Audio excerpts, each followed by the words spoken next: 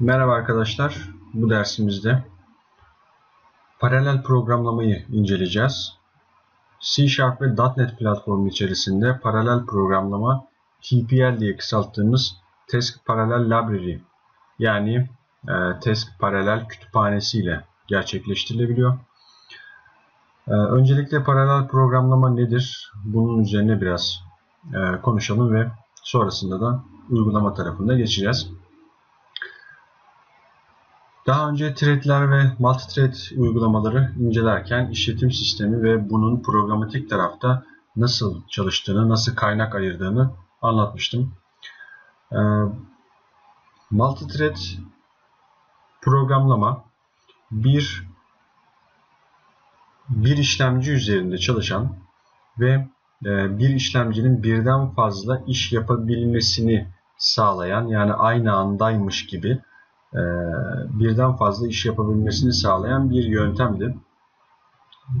Biraz daha açmak gerekirse işletim sistemi e, işlemcinin gücünü, yeteneklerini biraz daha genişleterek, geliştirerek onun birden fazla iş yapabilmesini sağlıyor. Çünkü tek işlemci aslında aynı anda tek bir işlem yapabilir.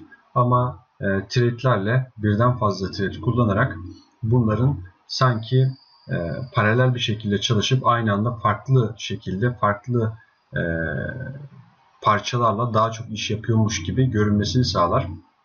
Paralel programlama ise bunu gerçekten yapar. Yani birden fazla işlemciniz olduğu durumlarda e, paralel programlama söz konusu olabilir.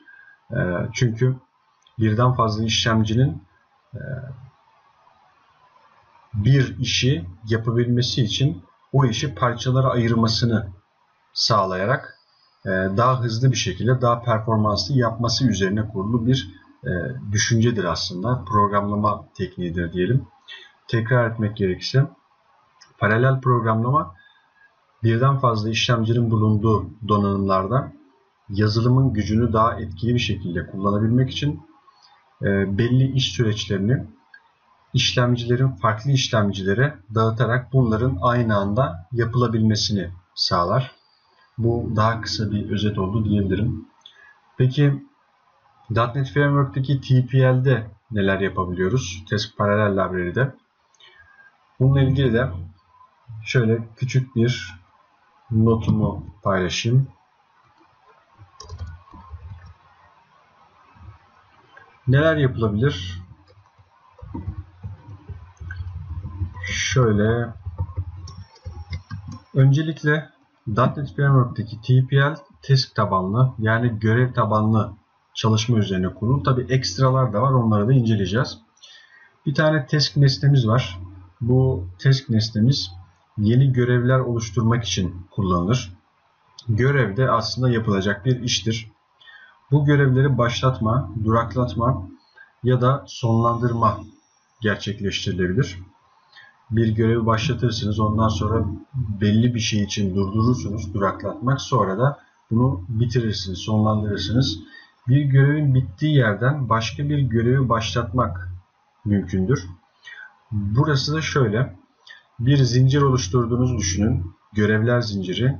A görevini gerçekleştirdiğinizde ondan sonra başlaması gereken A'dan bir değer elde etmesi gerekiyor diyelim. Bir return olacak. Ee, ya da o işlem bittikten sonra bir sonraki adıma geçip o adımı gerçekleştirmesi gereken bir durum söz konusu olduğunda e, burada da görevin bittiği yerden continue diyerek e, yeni bir görevi vererek o görevle devam etmesini sağlayabiliyorsunuz. Burada güzel yanı şu e, bir zincir oluşturulabiliyor. Bir görev bitince doğrudan hangi göreve geçeceği bellidir. O görev bitmeden de diğer görev zaten çalışmıyor. Güzel bir yapısı mevcut.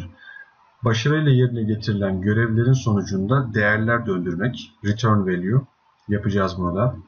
Bir görev kendi içinde alt görevler başlatabilir. İç içe görev olayı. Görevler aynı veya farklı threadler tarafından yerine getirilebilirler. Burada threadden bağımsız olduğunu görüyoruz. Task'ler yani görevler aynı veya farklı threadler tarafından yerine getirilebilirler. Şimdi Bununla ilgili ilk örneğimizi yaparak basit bir başlangıç yapalım TPL'e. Hemen burada notumu yazıyorum. Main thread başladı diye. Sonrasında şu şekilde bir nesnem var. Bakın bu task ee, bir de bunun jenerik yapısı var. Bunları inceleyeceğiz. Ben normal bir task oluşturuyorum. TSK adında. Sonra task nokta factory diye bir property var. Bu factory bize task factory nesnesi döner. Ben bunun üzerinden start new diyerek yeni bir görev başlatabiliyorum. Lambda expression yöntemini kullanarak. Farklı yöntemleri de var. Adım adım bakacağız. Burada görev başladı diyorum. Sonra bir for döngüsü oluşturuyorum. Count count ondan küçük olduğu sürece dönsün.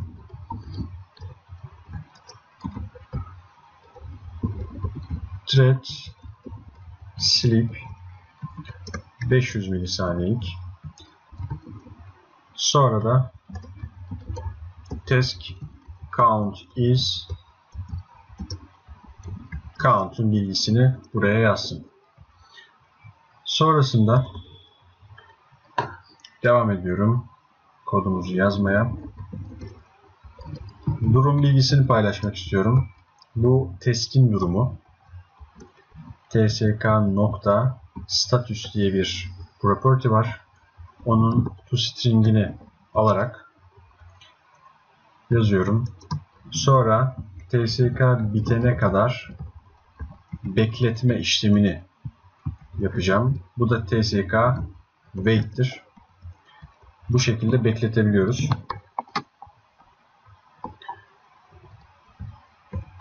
Bu neden kullanılır? Wait. Şimdi bu işlem örneğin e, şuradaki işlem başladığı zaman buradaki işlem uzun sürebilir. Çünkü paralel programlamanın e, nihai olarak bitiş bitiş zamanını %100 kestiremezsiniz. E, çünkü farklı işlemciler üzerinde çalışabilir. Burada işlemler gerçekleştirilirken ondan sonra e, daha işlemler farklı threadler üzerinden sağlanırken, yapılırken siz bir sonraki adıma geçerseniz örneğin sizin algoritmanızı bozuyor olabilir iş akışınızı bozuyor olabilir. Çünkü öncelikle şuradaki işlemin bitmesi gerekiyor olabilir. O yüzden bekletme gibi bir özelliğimiz var. Bekletiyorsunuz. Tabi bu yapmak zorunda değilsiniz. Bekletiyorsunuz ve bu işlem bittikten sonra devamını getirebiliyor oluyorsunuz burada. Sonra tekrar şuradaki durum bilgisini alıyorum. Sonra da TSK nesnesini dispose edeceğim. Yani işini bitiriyorum. Yok ediyorum artık dispose'la. Ve sonra da main thread bitti diyorum. Uygulamam bu kadar. İlk uygulamam.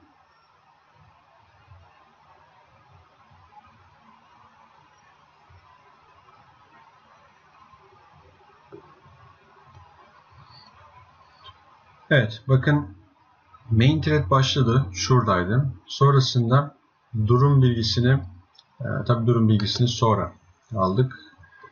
E, şurada test nesnemiz oluşturuldu.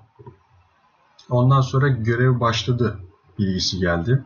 Görev başladığı yazdık buraya. Dikkat ederseniz öncelikle durum bilgisi burada yazıldı. Waiting to, e, to run şeklinde. Yani çalıştırılmayı bekliyor şeklinde. E, halbuki ondan önce biz testi oluşturmuştuk. Döngüyü kurmuştuk. Start new diyerek bunu oluşturmuştuk. Ama bu farklı threadler üzerinde çalıştığı için bir paralel programlama e, gerçekleştiği için buradaki akış aslında onu beklemeden devam etti. Orası başlatıldı. Sonra e, buradaki main thread kendi akışına devam etti ve yukarıdakinden daha hızlı bir şekilde geçtiği için de e, waiting to run ilk önce yazdı. Ondan sonra buraya girdi. Bir test nesnesi start new ile oluşturuldu. Sonra görev başladı yazdı ve e, sonra da şuradaki test count is 0 ve 9'a kadar olan e, döngüyü oluşturarak gördüğünüz gibi trade sleep ile e, 500 milisaniye beklete beklete bunu gerçekleştirdi.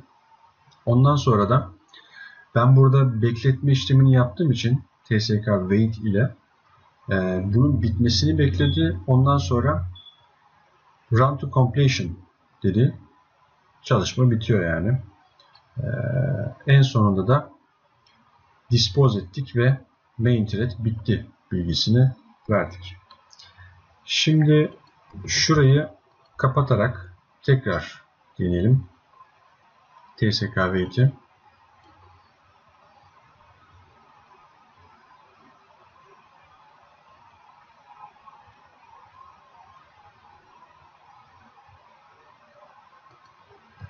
Şurayı da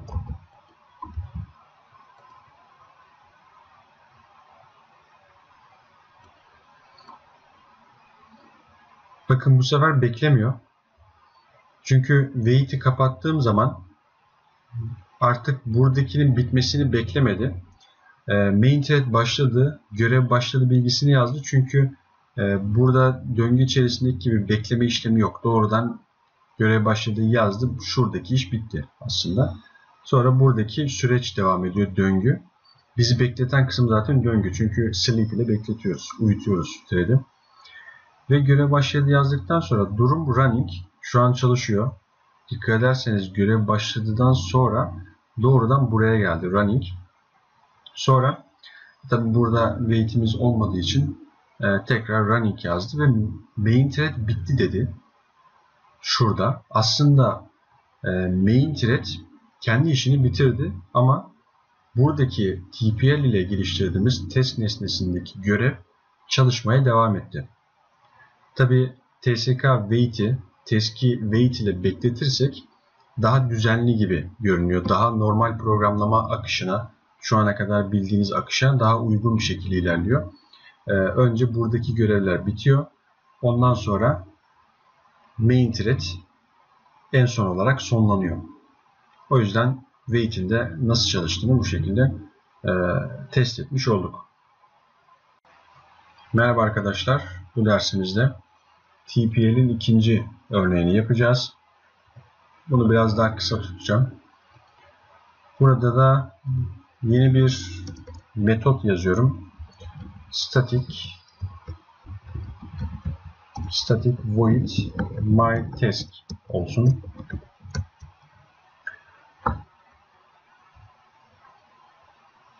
Bu my task e, metodu içerisinde my task başladı diyoruz.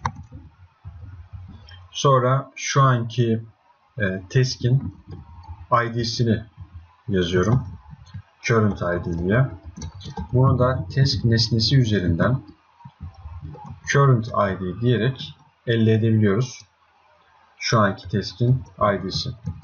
For gene count ve ona kadar dön. Thread sleep 500 ve console write line my task count diyorum ve count'umuzu yazdırıyoruz. Son olarak da metot içerisinde son olarak my task tamamlandı diyoruz. Buradaki işlemimiz bu kadar. Sonra şurası da kalsın. Hatta şunu da alayım. Biraz yer açayım. Çok kalabalık görünmesin.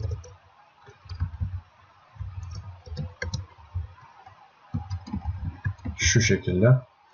Buradaki örneğimizde uygulamamızda öncelikle biraz kurcalayalım. E, task TSK nesnesini oluşturdum. New task. Benim MyTask adındaki metodumu buna action olarak veriyorum. Dikkat ederseniz e, buradaki task nesnesi action alıyor.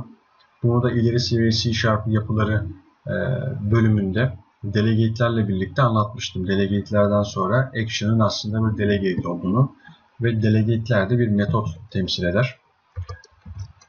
Bunu yaptık. Bir thread oluşturuyorum. Thread T. E, thread'in diyorum ki şu anki thread'i al. Yani main thread'i. Şu an çalışan thread'imiz bu. Main thread'i aldı. Onu T'ye atadı. Burada da tabii ki main thread'in id'sini alıyorum ve t nokta manage thread id diyorum. Yukarıda oluşturduğum şuradan bunu elde ediyorum. İd tsk nokta id diyorum. Sonra da bunu başlatıyorum. Bir thread'i başlatır gibi görevi başlatıyoruz. Ve bir for döngüsü bu 60'a kadar console write diyorum. Thread sleep 100 ve bu işlem bitene kadar da ben bekletmek istiyorum bunu. Ve son olarak da main thread bitti notunu ekranda gösteriyorum. Dikkat ederseniz buradaki teski e, biz kendi main thread'imiz üzerinden yaptık. Thread nesnesi üzerinden, sınıfı üzerinden current thread diyerek şu anki çalışan main thread'i elde ettik. Onu T'ye atadık. Sonra da bunun manager thread ailesini falan aldık e, vesaire. Ve onunla bu işlemi gerçekleştirmiş olduk. Ee, burada da Teskin current ailesini elde ettik. Şimdi bakalım neler yapıyoruz.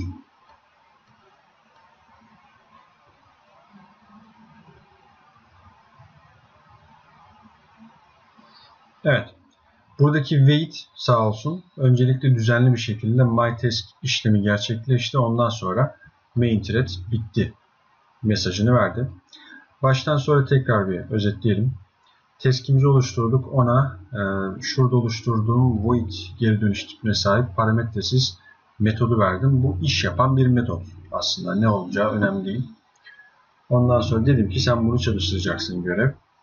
Sonra da thread nesnesine e, şu anki çalışan main thread'in bilgisini aldım.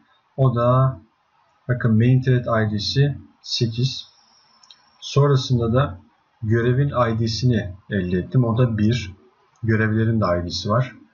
Ve görevi başlattım start ile. MyTask başladı şeklinde bilgiyi aldık. Şurası.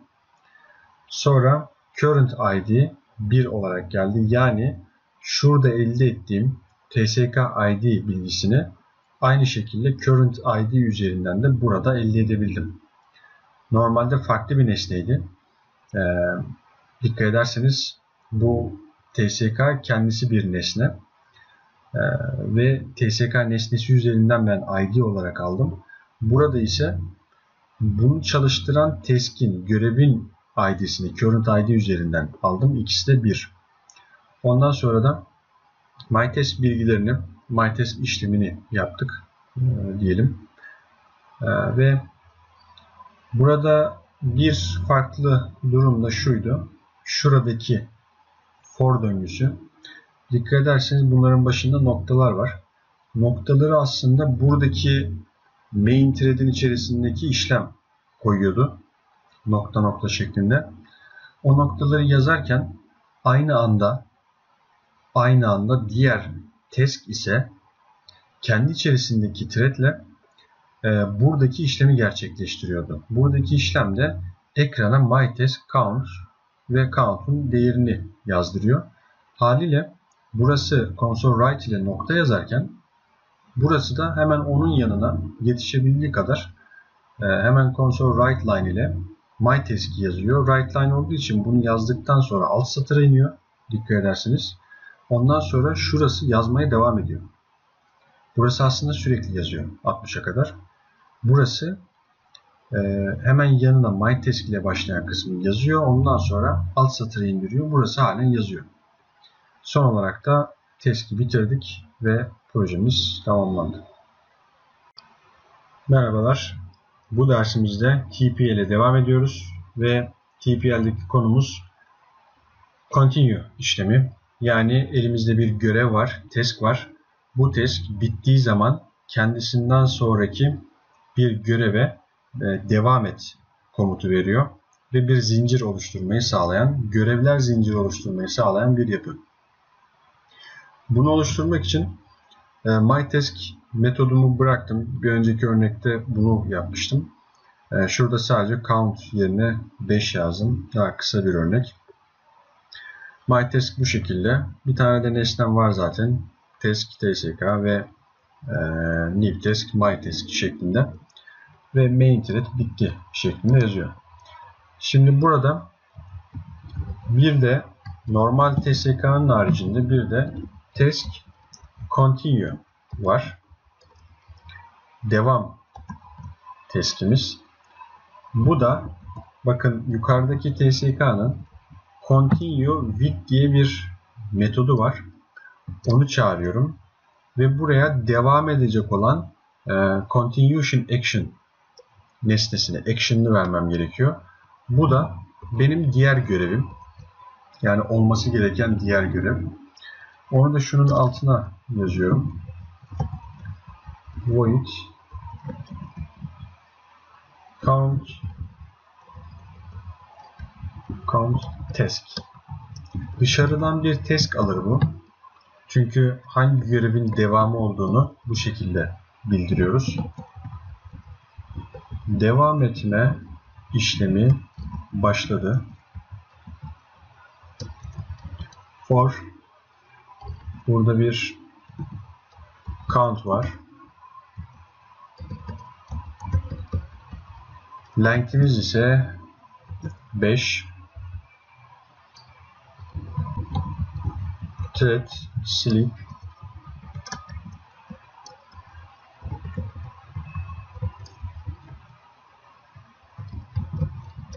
continuation. Count is count.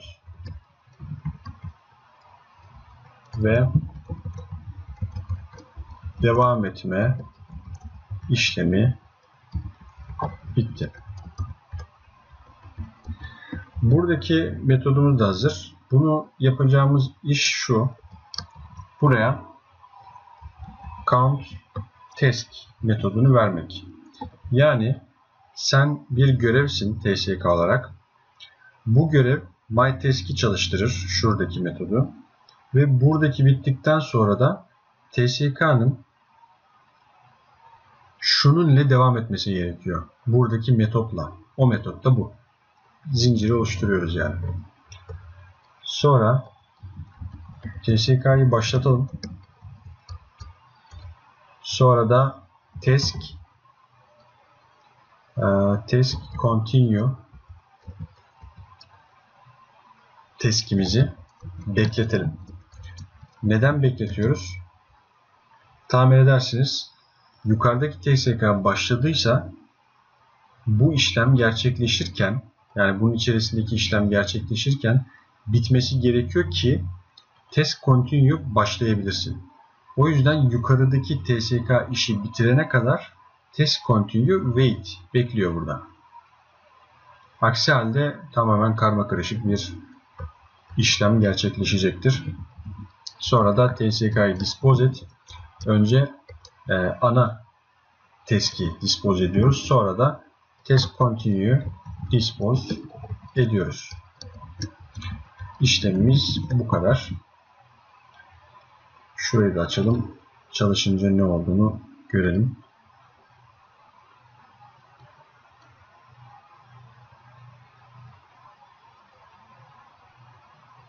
Gördüğünüz gibi gayet düzenli. MyTask başladı. Bu ilk teskimizdi. TSK. Sonra devam etme işlemi başladı dedi. Şuraya geldi. Ve continuation count is 0, 1, 2, 3, 4 ve devam etme işlemi bitti. En sonunda da main thread bitti şeklinde bunu gördük. Bu da e, adım adım zincirleme bir görev oluşturma e, yöntemiydi diyebiliriz. Merhaba arkadaşlar. Bu TPL örneğimizde de return value işlemine bakacağız. Yani bir testten geri dönüş alma. Bunun için iki tane örnek metot hazırlayacağım. Static boolean my task adında bir metot. Bu geriye return boolean e, dönecek. True dönsün. Static integer sum it ve dışarıdan object value alıyor. İçeride dışarıdan gelen v'yi int'e kestediyor ve int sum eşittir 0 diye bir değişken oluşturup for döngüsü yapıp x büyükse sıfırdan x'i azalt.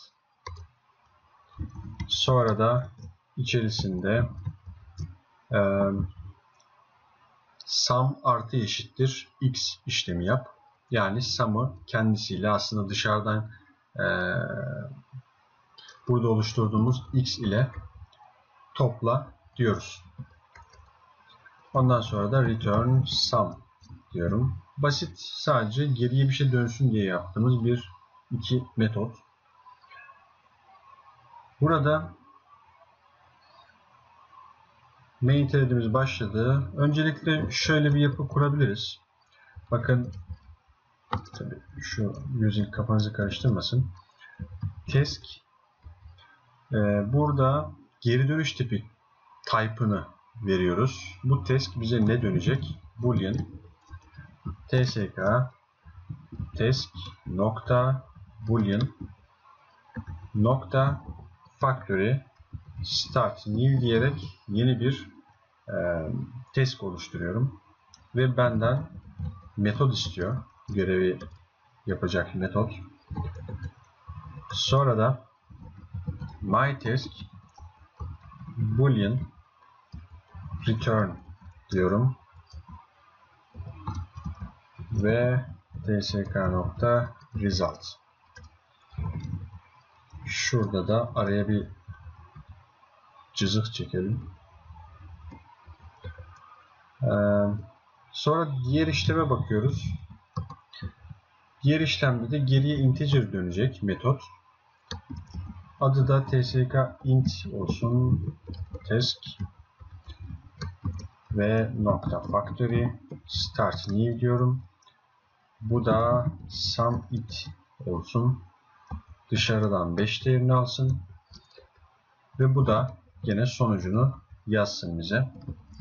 Sum it int return ve sonuçta tsk int'in result isimli e, property'sinden geliyor. tsk nokta dispose diyerek tsk'yı yok edelim. tsk int dispose diyerek onu da yok edelim.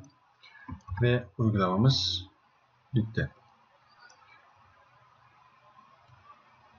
Bakın burada yaptığımız şey bir task'in, bir görevin return e, oluşturabilmesini sağlamak. Yani geri dönüş değerini e, alabilmesini sağlamak. O yüzden iki tane metot yaptık. Birisi boolean dönüyor, diğeri integer. Ve boolean dönen içerisinde e, bir generic sınıf kurulumu yaptık task'te. Task'in generic versiyonunu kullandık. Dedik ki task geriye boolean döner. Buradaki örnekte. Factory start new dedik. Şey de bu. Çalışacak olan metot da bu. Aslında çok basit bir işlem. E, dikkat ederseniz MyTask'te parametre almıyor. Parametre almadığı için ekstra bir tanıma gerek yok. Sadece metodu verin. Sonra da geri dönen değeri TSK nesnesinin result'ı üzerinden alabiliyoruz. Sonuç e, properties üzerinden. Sonra da e, integer dönen şuradaki submit işlemine bir de parametre alan metodun teskini yapalım dedik. Burada da int tsk int kurulumu yaptık. Metodu verdik. Virgül parametreyi verdik. 5 olarak. E, bu da aynı şekilde result'tan bize dönüş yaptı. Sonra da bu nesneleri dispose ettik. Çok basit bir şey aslında. Mesela action ve func e, bölümlerini incelediyseniz delegate'lerin bir farklı versiyonu demiştik ya altyapısında delegate kullanan. Onu incelediyseniz bu aslında neredeyse tamamen aynısı diye düşünebiliriz.